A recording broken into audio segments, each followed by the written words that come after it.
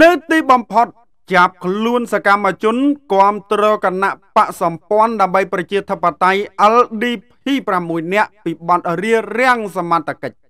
សវាគមន៍ប្រិមិត្តវិលមកកាន់នេតិព័រមាន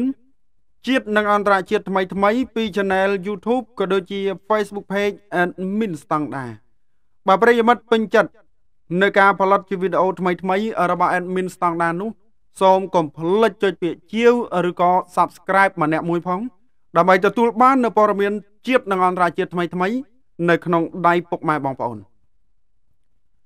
នៅពេលមុននេះសមត្ថកិច្ចបានធ្វើធ្វើការចាប់ខ្លួនសកម្មជនគណៈបកសម្ព័ន្ធដើម្បីប្រជាធិបតេយ្យ LDP ក្រោមការដឹកនាំរបស់លោកខំវិស្នានោះចំនួន6នាក់ជានារី នៅវេលាម៉ោង3រសៀលនាថ្ងៃទី1ខែកញ្ញា ឆ្នាំ2022ដែលការចាប់ខ្លួននេះស្ថិតនៅទីតាំងភូមិថ្មជុលឃុំត្បែងបាទភូមិត្បែងស្រុកបន្ទាយស្រីពីបទរៀបរៀងសមត្ថកិច្ចកំពុងអនុវត្តការងារ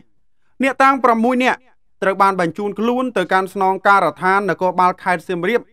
បច្ចុប្បន្នសមត្ថកិច្ចកំពុងធ្វើការសាកសួរហើយបញ្ជូនទៅតុលាការបាទ នេះគឺសិតតលើកក្រែបោះចោលបាទមីងមីងបាទគាត់ដល់កហើយបាទណាអត់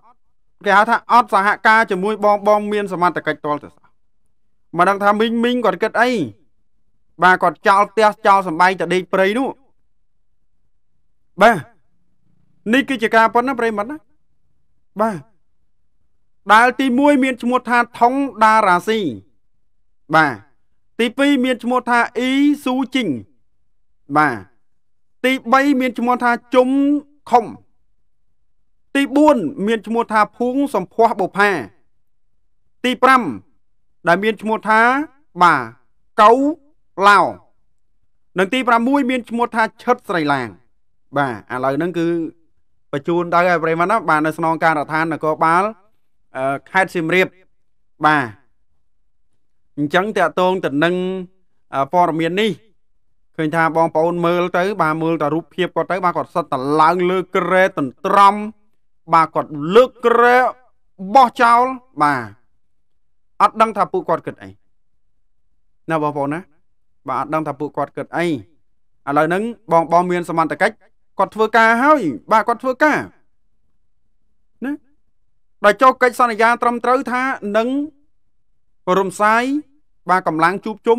យ៉ាងយូរថ្ងៃទី5 ខែកញ្ញាឥឡូវនេះថ្ងៃទី2បាយជាមកអុកឡុកសមត្ថកិច្ចទៅវិញបាទអុកឡុកសមត្ថកិច្ចទៅវិញអញ្ចឹងតកតងបានតំណឹងព័ត៌មាននេះបងប្អូនចូលរួម បាទបញ្ចេញមតិយោបល់ម្នាក់មួយផងហើយបើសិនជាលើកទៅលើសលួសត្រូវខុសដោយប្រការណាមួយក៏សូមខន្តីអភ័យទោស